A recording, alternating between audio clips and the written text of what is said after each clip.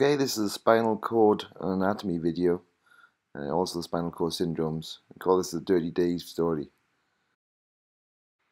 We have to warn you, however, these analogies are a bit rude. So first of all, you draw a bum. Every bum has a bum hole. You draw that next.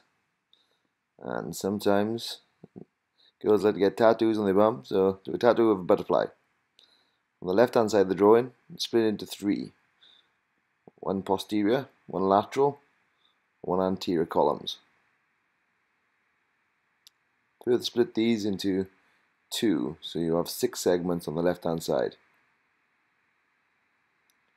Next draw the anterior and posterior spinal arteries and label it anterior, posterior and lateral. So next label the segments. So you have G, C for gracilis and cuneatus, C, S for lateral corticospinal lateral spinothalamic, and S, C for anterior spinothalamic and anterior corticospinal. This is sometimes to be remembered as GCSE or GCS. Okay, now the Dirty Dave story. This is for the sensory tracts, the spinothalamic and the posterior columns. Please note well, some books have the deep touch and light touch the other way around, but it doesn't work for this analogy.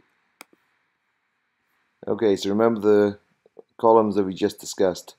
So Dave decided to uh, visit a brothel and he started slow, so he first of all asked for a massage. Uh, this is obviously posterior, so this is posterior columns and deep touch. And then he decided to spice things up a bit, so she just stuck a vibrator up his ass. Oh yeah. Next one, vibration.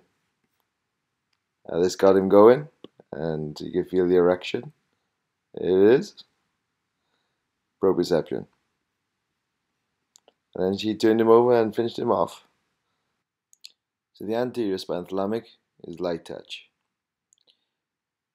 You can see here. Dave is a uh, very cheap. He tried to make a run for it. He's running down the boulevard.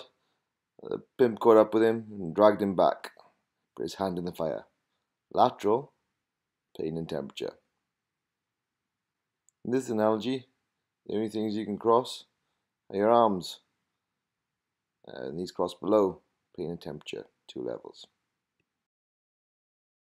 Okay, so let's have a look at the posterior cord syndrome. So for example, the damage to the posterior spinal artery, which will take out your gracilis and cuneatus, your posterior columns. Using Dirty Dave story, this will uh, you lose deep touch, vibration, and proprioception. Okay, so the next one is going to be the anterior cord syndrome. This is typically the damage to the anterior uh, spinal artery. And you'll lose all your motor function as well as the light touch and pain and temperature, which will be contralateral if it's only one side of the cord affected. Okay, next we have central cord syndrome.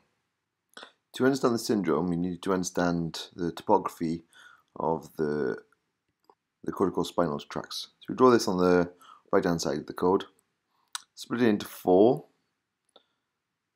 as we're doing, and then label it CTLS or if you want to remember it another way, ATLS. You all know that.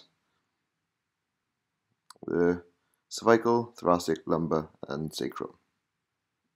Now, if you've got a central cord, this will take out your upper limbs more than your lower limbs, like a man in a barrel. There he goes. And last, we have Brown-Séquard syndrome. This is from Charles Brown-Séquard. There he is.